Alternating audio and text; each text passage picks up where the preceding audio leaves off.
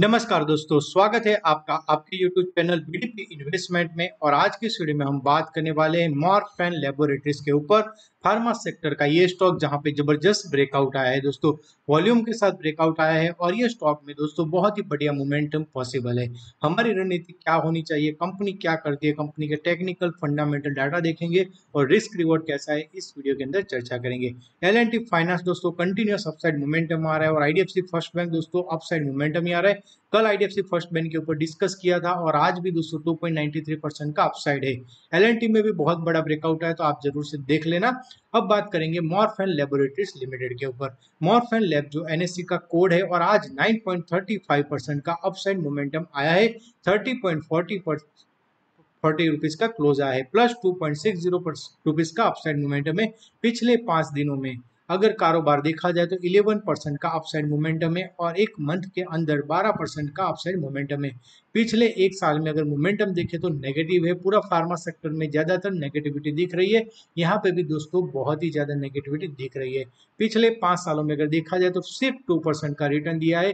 और long term में अगर देखा जाए तो 67.97 परसेंट का नेगेटिव रिटर्न दिया है।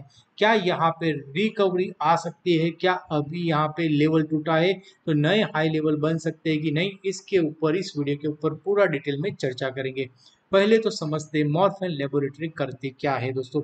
मॉर्फन लेबोरेटरीज जो है, उसका रेवेन्यू जो है बहुत ही बढ़िया मैन्युफैक्चरर है फॉर ग्लूकोमीटर्स और दोस्तों, जब आपको याद होगा कोरोना आया था तब दोस्तों, जो ब्लड का दोस्तों जो आप देख सकते हैं कि पल्स ऑक्सीमीटर जो ये कंपनी ही बनाती है 52 percent revenue from API business आता है डायग्नोस्ट डिवाइसेस से 36.9 परसेंट का आता है और फॉर्मुलेशन से 11 परसेंट का आता है दोस्तों। तो बहुत ही बढ़िया बिज़नेस सेगमेंट है। और यहाँ पे दोस्तों जेनरिक सेगमेंट है होम डायग्नोस्टिक सेगमेंट है OTC and health care products है हाई क्वालिटी जेनरिक मेडिसिन है तो बहुत ही बढ़िया कारोबार करती है। कंपनी के पास दोस्तों यूएस एफ़ डी है अप्रूव्ड है W H O G G M P दोस्तों है। अगर बात करें कोविड के न्यूज़ की तो दोस्तों कोविड में कुछ ज़्यादा अपसाइड मोमेंटम नहीं है 120 न्यू कोविड इन्फेक्शन आए हैं। तो एक थोड़े से दोस्तों बट एक्टिव केस है जो काफ़ी डाउन साइड है। फंडामेंटल के ऊपर नज़र डालते हैं तो मॉर्फिन लेबोरेटरीज का जो स्टॉक है उसका मार्केट कैप है 1553 करोड़ का मार्केट कैप है। स्टॉक का पी 40 है बुक वैल्यू 14.7 है। और आरओसी है 8.56 आरओई है 5.93 फेस वैल्यू दो का है। डेप जो है 25.2 करोड़ है। 0.03 डेप फ्री कंपनी आप बोल सकते हैं। अगर यहाँ पे आप नज़र डालोगे तो क्वार्टरली रिज़ल्ट के ऊपर आपको समझ में आएगा। सेल्स जो था दोस्तों, हमने डिस्कस किया था कि सेल्स जो था उसमें दोस्तों बढ़ोतरी आई थी। बट ऑपरेटिंग प्रॉफिट मार्जिन इस कंपनी का बड़ा प्रॉब्लमेटिक रहा है। अगर यह कंपनी ने परफॉर्मेंस नहीं किया है लास्ट एक साल में तो आप देखेंगे मार्च 2022 से लेके मार्च 2023 में operating profit margin single digit में है। बट यहाँ पे आप देखेंगे डबल डिजिट में हमें ऑपरेटिंग प्रॉफिट मार्जिन देखने को मिले थे और इस क्वार्टर का सबसे ज़्यादा कम था दोस्तों। तो मैंने तब भी बताया था कि तब दोस्तों ट्वेंटी फाइव रुपीज़ का प्राइस था और बताया था कि रिस्क रिवॉर्ड बहुत ही कम है और यहाँ पे अपसाइड वृद्धि बन सकती है। और यहाँ पे दोस्तों, आप देखेंगे कि ये जो तेज़ी बनी है, वो वही है कि दोस्तों, अब आने वाले टाइम में जो मार्जिन है, उसमें इंप्रूवमेंट आएगा। आपको सेल्स में तो इंप्रूवमेंट आता ही रहता है। तो ये जो ईपीएस है, वो स्काई रॉकेट हो जाएगा। दोस्तों, पहले भी आप देखेंगे, जो ईपीएस आता था, वो बहुत ही बड़ा क्वार्टर रिज़ल्ट में आता था। प्रॉफिट एंड लॉस स्टेटमेंट के ऊपर नज़र डालोगे तो आपको समझ में आएगा दोस्तों कंपनी जो सेल्स है दोस्तों मार्च 2012 में 289 करोड़ का सेल था। फिर मार्च 2023 में 326, 367, 401, 485, 595, 6076, 769, 853 और 1188, 1547 ये दोस्तों कोरोना के बाद का दोस्तों ये पहली बार ऐसा हुआ है पूरी ज़िंदगी में। तो दोस्तों स्टॉक ने रेवेन्यू जो है थोड़ा सा डिक्लाइन किया है मार्च 2023 में और operating profit margin life time low के आसपास चल रहा है और जो प्रॉफिट है वो भी थर्टी नाइन करोड़ का है। अगर दोस्तों नेक्स्ट ईयर में यहाँ पे सुधार आएगा अच्छा हो सकता है दोस्तों अच्छा मोमेंटम आ सकता है सेल्स के अंदर और साथों साथ मार्जिन में भी उछाल आएगा। तो दोस्तों, ये स्टॉक में रे रेटिंग की संभावनाएँ बहुत ज़्यादा बन सकती है। अगर यहाँ पे नज़र डालेंगे आप तो यहाँ पे आपको समझ में आएगा शेयर होल्डिंग पैटर्न जहाँ पे प्रमोटर के पास होल्डिंग है thirty eight point double two बीच में दोस्तों 36.74 परसेंट का होल्डिंग था। उसके बाद कंपनी ने बढ़ाया बढ़ाया होल्डिंग और 38.22 किया है। एफआईआई की बात करें तो लास्ट क्वार्टर में 0.89 से बढ़ा के 0.96 किया है। डीआई का होल्डिंग 2.93 परसेंट है। पब्लिक के पास होल्डिंग है 57.88 परसेंट का होल्डिंग है दोस्तों। तो पब्लिक के पास अभी जो होल्डिंग है वो दोस्तों 2020 के मुकाबले यहाँ पे बहुत ही ज़्यादा होल्डिंग आप बोल सकते अगर बड़े पब्लिक होल्डर की बात की जाए तो आप देख सकते हैं पिन फोल्ड ओवरसीज के पास 7.54 परसेंट का होल्डिंग है। यहाँ पे आप देखेंगे दामोदर अग्रवाल जी के पास 1.26 है और मॉर्फिन लेबोरेटरीज के पास 1.04 परसेंट का होल्डिंग है।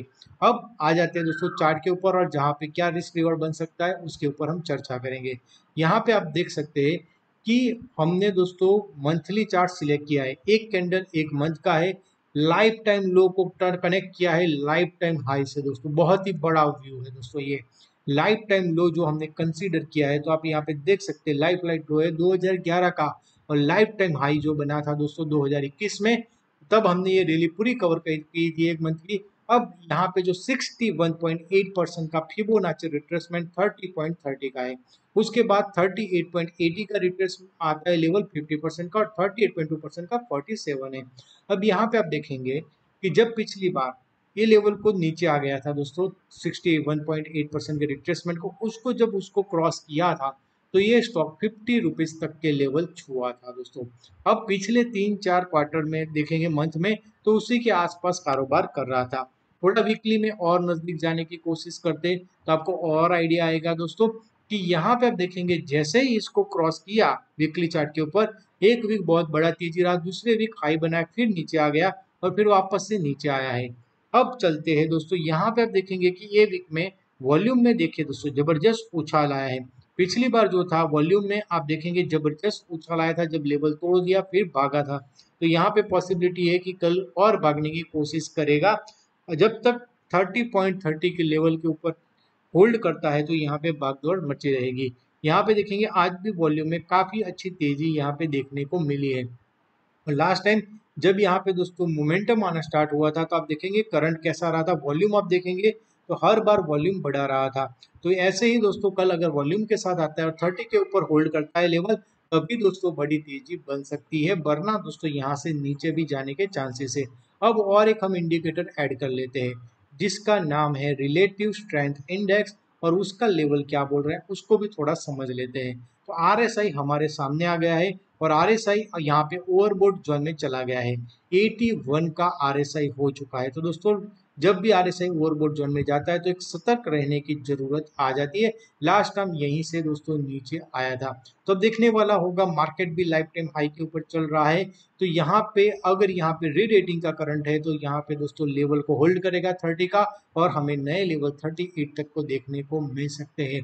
ये सारे मेरे पर्सनल व्यू है, कोई रिकमेंडेशन नहीं है। अगर आपको वीडियो अच्छा लगे तो लाइक कीजिए शेयर कीजिए सब्सक्राइब कीजिए। मिलते हैं नेक्स्ट वीडियो में। धन्यवाद। और अभी तक आपने एंजल वन में डिमेट अकाउंट ओपन नहीं किया तो आप फ्री में डिमेट अकाउंट ओपन कर सकते लिंक डिस्क्रिप्शन बॉक्स में डाले हुए हैं। अगर आपको कोई स्टॉक के ऊपर दोस्तों जानकारी चाहिए और पूरा एनालिसिस चाहिए तो आप मुझे कमेंट सेक्शन में डाल सकते हैं। तो दोस्तों, मैं नेक्स्ट वीडियो में उसका एनालिसिस करने की ज़रूर से कोशिश करूँगा। Thank you thank you very much दोस्तों, धन्यवाद।